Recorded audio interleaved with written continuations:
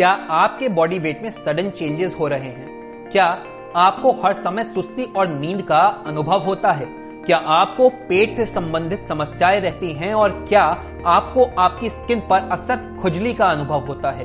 अगर हाँ तो ये सभी लक्षण इस बात की तरफ़ संकेत करते हैं कि आप अनहेल्दी गट की समस्या से पीड़ित हैं। लेकिन घबराएँ नहीं, क्योंकि इस वीडियो में हम आपको गट हेल्थ को इंप्रूव करने वाली कुछ रेमेडीज के बारे में बताएँगे। लेकिन अभी तक अगर आपने कपी फिट के यूट्यूब चैनल को सब्सक्राइब नहीं किया है तो जल्दी से कर लीजिए।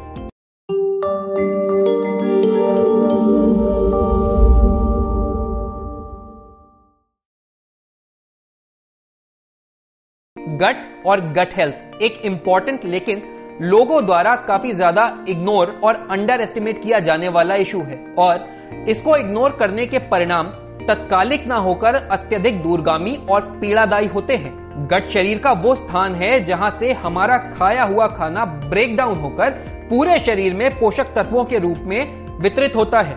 इसलिए यदि हमारा गट अनहेल्दी है तो न सिर्फ़ इस कारण हमारी ओवरऑल हेल्थ प्रभावित होगी, बल्कि इस कारण हमारी इम्यूनिटी अत्यधिक घातक स्तर तक दुर्बल हो जाएगी। भारत की राजधानी दिल्ली में हुए एक सर्वे के अनुसार हर पाँच में से एक भारतीय किसी न किसी तरह से अनहेल्दी गट की समस्या से पीड़ित है।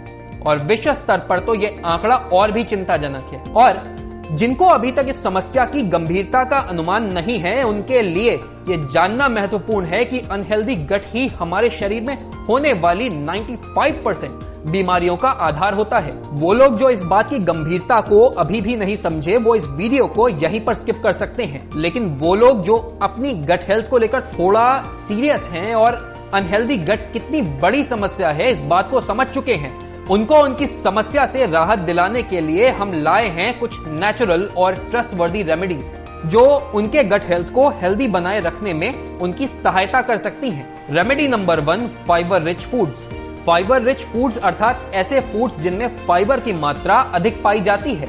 यूएसए बेस्ड एक नामी इंस्टीट्यूट के अनुसार यदि हम अपने भोजन में अधिक मात्रा में फाइबर्स का कंजम्पशन करते हैं तो इससे हमारी गट हेल्थ ना सिर्फ़ इंप्रूव करती है, बल्कि अधिक फाइबर्स का ही कंजम्पशन वो रीजन है जिसके कारण हमारा गट हेल्दी भी बना रहता है।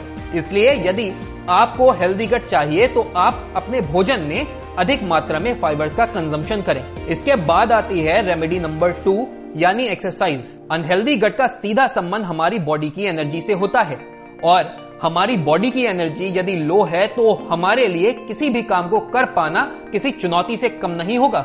इसलिए अगर आप अपनी बॉडी और अपने गट की हेल्थ को लेकर अवेयर हैं तो आपको चाहिए कि आप अपने डेली रूटीन में एक्सरसाइज को शामिल करें।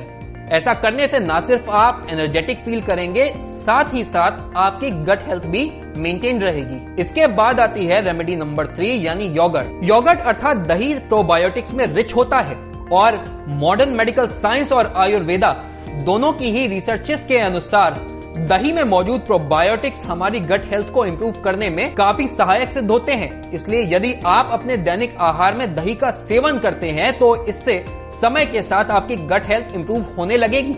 इसके बाद आती है रेमेडी नंबर फोर यानी लिमिट आर्टिफिशियल स्वीटनर्स जिस तरह दही का सेवन हमारी गट हेल्थ के लिए एक वरदान है उसी तरह यदि हम आर्टिफिशियल स्वीटनर्स का सेवन अधिक मात्रा में करते हैं तो इससे हमारी गट हेल्थ पर बहुत ही बुरा प्रभाव पड़ता है, क्योंकि इसके कारण हमारे गट में मौजूद हेल्दी बैक्टीरिया ठीक तरह से फ़ंक्शन नहीं कर पाते हैं। इसलिए आर्टिफिशियल स्वीटनेस के सेवन से जितना हो सके उतना बचें। इसके अलावा स्वस्थ दिनचर्या का पालन करें और स्वस्थ विचारों को धारण करें। यदि आपके पास हमारे लिए कोई सवाल या सुझाव है तो हमारे साथ कमेंट सेक्शन में शेयर करना ना भूलें।